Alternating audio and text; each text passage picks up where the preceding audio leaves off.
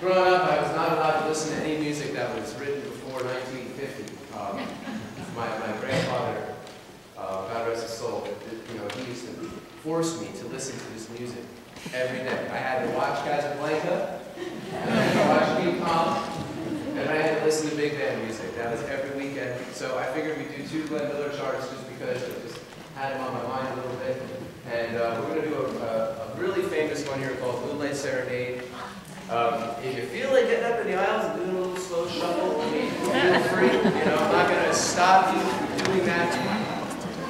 Don't feel like you have to. Okay? It would take a lot more. This is Esmail Hamidi. He is going to be the unofficial